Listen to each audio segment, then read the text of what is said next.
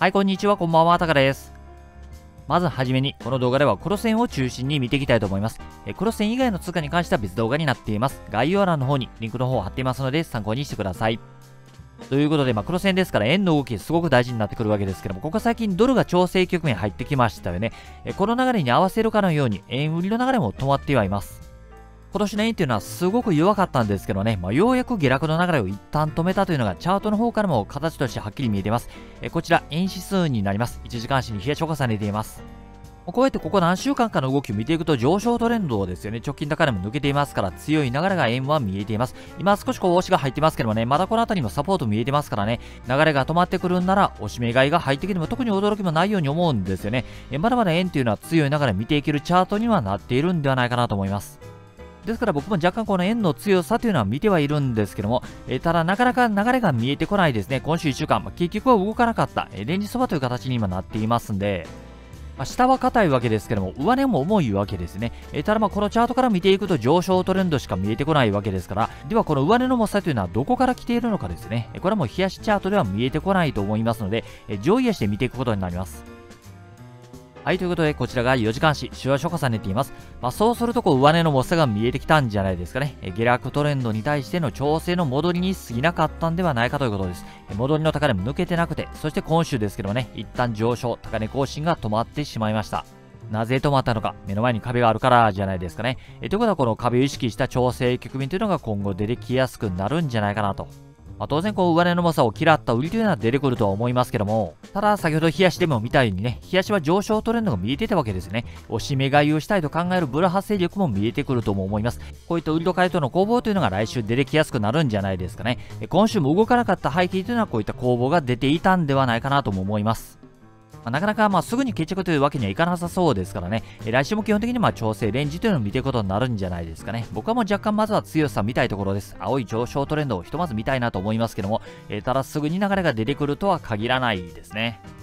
まあ、こういった背景というのをしっかり押さえながら、各チャートを見ていきたいと思います。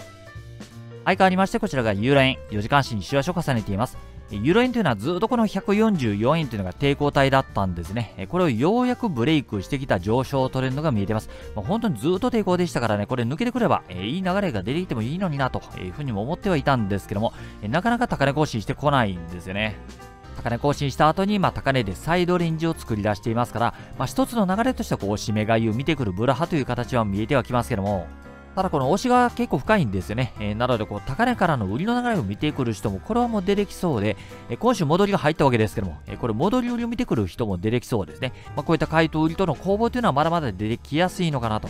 週足環境で見ていけば何も決着がついてない状況ですからね、えあまりこうトレンドが出てくる環境でもないのかなというふうに思いますね。来週も公開が入ったり売りが入ったりという状況はすごく生まれやすい相場のようには思います。はい、こちらが1時間足、冷やしを重ねています。えー、そういった環境を踏まえて、まあ、冷やしを見ていくと、まあ、レンジが見えているわけですけども、えー、レンジのさらに中に小さなレンジも作り出しています。え、ちょっとこの1週間はもう動きがなかったですね。ただ今の現在地は少し面白い位置にはいると思うんですね。えというのもまあ大きなレンジで見ていけば真ん中ですからね、少しこう分かりにくい位置にはなってくるんですけども、え、ざっくり見てしまえばこの辺りレンジの安値圏、安値圏での攻防ですから基本的にやっぱチャートは弱いと思うんですね。まあ、弱い中で小さなレンジの高値までは来ていますんで、まあ、一旦この高値をバックにショートをしていく、えー、売っていく流れを見ていくというのは面白いんではないかなと思います。ただこれ、え、サポート割れるへの動きを期待しているわけではなくて、まあ、あくまでレンジの動きの継続ですね。え、上がったり下がったりの値動きの継続を考えているということです。今この抵抗体が145円の50あたりに壁が見えていますから、えー、ですからこれ抜けてしまったらダメですね。抜けたらもうレンジの下から上までの流れが逆に見えてしまいますんで、ショートを引っ張るような場面ではないとは思います。ということは、まあ短期的にはブルビアの分岐点がまあここに見えているんではないかということですね。買っていくんなら抜けてほしい壁、売っていくんなら抜けてほしくない壁。ある程度こう分かりやすい壁が見えていますからね、こういった壁を利用して、まあ、売っていくなり、抜けを買っていくなり、こういったところを見ていくというのは悪くないように思うんですよね。月曜日はこう小さなレンジを見ていけば高値圏ですからね、まずはこう売りの流れを見ていきたいところですかね。はい、こちらが15分足、4時間足を重ねています。えー、短期足を見ていくと、まあ、こういったレンジが見えてくるわけですけども、このレンジは大きなレンジの中にできている小さなレンジですね。目の前に見えている壁というのは、まあ、このレンジの高値ということになりますんで、えこれ抜けてくると、一回り大きなサイズのレンジの上までの流れが見えてきてしまいますんで、まあ、ショートを見ていくような流れではなくなってしまうと思うんですよね。まあ、そういった分かりやすい壁が今、この上、え145円の50あたりに見えてるんじゃないかなと思いますので、まあ、一旦このあたりバックにショートを見ていくのも面白いのかなと思います。ただまだ明確にこう売りの流れも見えてないないんですね。これ安値を見ていけばしっかり切り上げてもいますんで、えブレイクなんかも全然ありえますんでね。ですからこのショートというのは抜けたらまあダメだと思いますしね、え逆にロングなんかを見てる人はこの抜けの動きをしっかり見ていくのも面白いとは思います。そういった意味では決着を見ていくにはすごく分かりやすい壁が目の前にあるのかなというふうに思いますかね。えー、環境全体的な流れとしてちょっと流れが見にくいそば環境だと思うんですけどもね、え、こういった環境ですから、まあ、よりね、こういった分かりやすい壁が近くにあるというのはありがたいんではないかなと思います。僕はまずは大きな流れからの円高というのも少し意識してますんでね、壁も見えていることですから、一旦は売っていこうかとも思いますけどね、えただ抜けたらダメですからね、まあ、しっかりこう逃げ場を確認しながら売っていく場所を探っていくことになるかと思いますね。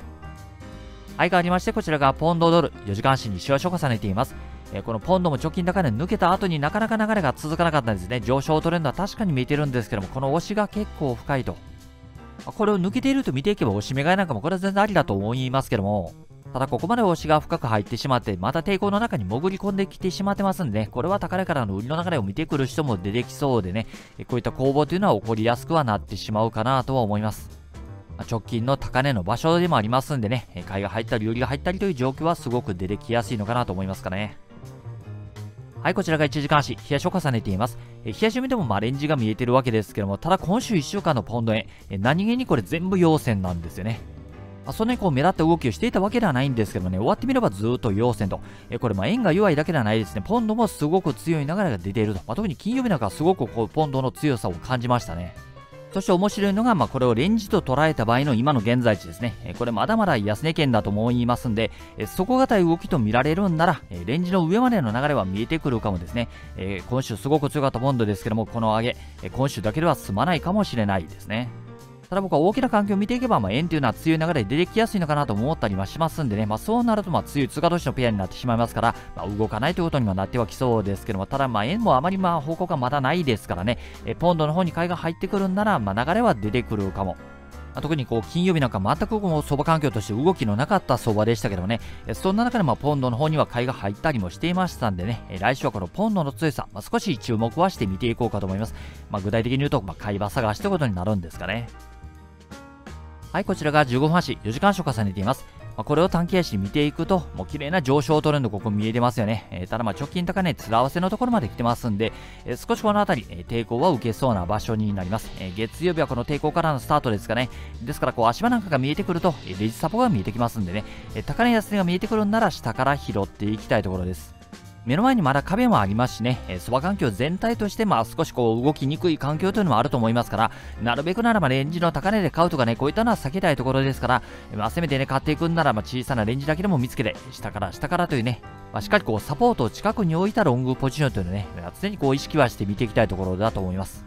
まあ、前提的な環境に飲まれて動かないということも全然ありそうですけどね、えー、ただまあ個人的にはポンドの強さというのは今週1週間見えましたんでね、え、このポンドの強さ、え、来週も継続してまずは見ていこうかと思います。はい、変わりまして、こちらが5ドル円、4時間足に週足を重ねています。この5ドル円が週足環境を見ていくと全く動きがなくなってしまってるんですよね。まあ、少しこの辺り高値を抜けたりもしましたけども、これも潰されてしまってますんでね、自分ならまずはこういったレンジを見ていきますかね。え高値が95円の真ん中あたり、安値がだいたい92円前後になってくるかと思いますけども、現在地はそのレンジのど真ん中、半年近く続くレンジですからね、そう簡単にはやっぱ抜けてこないんじゃないかなと思いますしね。しかも現在地真ん中ですから方向感もないような状況ですよね。まあ、それでもこう円の方に取れるのが出ているとか、5ドルに取るのが出てるとか、まあ、こういった環境だったらまだいいんですけどね。えただまあそういった環境にも今はないとも思いますので、まあ、基本的にまあ動かないそばというところを見ていくことにはなるかなと思うんですね。まあ、場所的にもこう買いが入ったり売りが入ったりすごくしやすい場所だと思います。えー、あまりこうトレンド意識してしまうとね、こう上で買ったり下で売ったり、えー、そういったことになりやすいんじゃないですかね。はい、こちらが1時間足、冷やしを重ねています。まあ、もちろん冷やし環境を見てもレンジが見えています。えー、レンジの真ん中にできてるさらに小さなレンジという感じですかね。えー、そしてこの小さなレンジの中でも、えレンジのど真ん中なんですね。まあ、こういった上位足の環境があって、まあ、この位置から買いが入りますか、売りが入りますかと言われても、これはもう本当わからないと思います。え上がることもあるでしょうし、まあ下がることもあるでしょうという、まあそういった答えになってしまうと思うんですね。まあこういったところでトレードしてもなかなかまあうまくいかないと思いますので、まあしっかり見ていきたいのは高値圏とか安値、えこの辺りの値動きをしっかり見たいところです。中足環境でも一回り大きなレンジも見えていましたけどね、冷やし環境では高値95円の2030あたり、安値が92円の8090あたりですかね、このあたりのレンジそばという形が見えてますから、まあ、全てこのあたりに引き付けたところの値動きというのを見ていくことにはなるかなと。今のようなこういった真ん中付近では本当にやれることは少ないと思いますね。はい、こちらが15分足、4時間足を重ねています。まあ、日足がガチガチのレンジ相場ですからね、まあ、多少、まあ、竹足見ていくとトレンドなんかも見えてはくるんでしょうけども、まあ、基本的には日足環境の高値圏、安値圏を、まあ、重視していくことになるかなと。え現在地は真ん中ですね。あですから、せめてこう、高値圏とか、安値圏とか、まあ、この辺りの値動きをしっかり見たいところです。ですから、まあ、来週もこの辺りからスタートしてしまえば、ちょっと最初はやられること少ないんじゃないですかね。なので、こう、慌てることはもう本当にないと思いますね。えー、高値に引き付けてのショートであったりとか、安値に引き付けてのロングなんかは、えー、これはもう見ても面白いと思いますけどね、そのためには待たないといけないですね。ま、これは5ドル円だけではなくてね、え為替相場全体的に、まあ、こういった膠着状態という形は見えてはしまってはいますけどね、まあ、その中でもよりこうレンジが強く意識されているのが、まあ、5ドルの環境かと思いますので、え中途半端なところでポジションは持たないようにしたいですね。はい、ということで、え基本的にはもうレンジそばという形が、まあ、この戦全体的な環境として見えていますからね、えそもそもそんなにこう前の上になってやるような環境ではないと思いますけども、えそんな中でもまあ一つ注目したいのはポンド円ですかね。まあ、ポンド円というよりはまあポンドの強さというところになってくるかと思います。レンジの安値圏でポンドに強い買いが入ってきているという状況がありますんでね、まあ、これはレンジ高値までは見れるかと思いますので、えロングを見ていくのは面白いんじゃないかなと思うんですよね。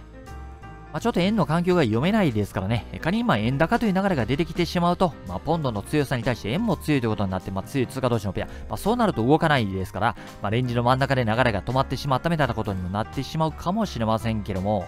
ただ今のところこう通貨の方向感というのが見えてない中で、まあ唯一ね、このポンドには強い流れが見えてはいますんでね、えまずこのポンドに注目をしていくというのは、え僕は個人的に面白いとは思います。あとはユーロですかね。このユーロもまあレンジが見えてるわけですけども、え、現在地レンジの安値圏、え、逆にこれはもう上値の差も見えてるかなと思いますんで、え、高値がはっきり壁見えてますからね、えブルベアの分岐点というところが見えてますんで、まあ、一旦打っていくのも面白いと思いますし、え買い目線で見ていくんなら抜けの動きに注目をしても面白いと思います。えブルベアの分岐点としてはっきり壁が見えていますから、この壁を利用するというのは、え一つの作戦としては面白いと思いますね。まあ、全体的なこう調整局面という形がま各通貨見えていますんでね、こう明確なトレンドが生まれにくい状況かと思いますんで、まあ、よりこう近くにね、サポートを置くというのは大事になってくるんじゃないかなと思います。ただ繰り返しになりますけども、相場環境全体的な流れとして、えー、あまりこう前のめりになるような環境ではそもそもないと思うんですよね。まあ、ほんとチャンスがあればと、えー、じっくり待つというのが今週のポイントにもなってくるんじゃないですかね。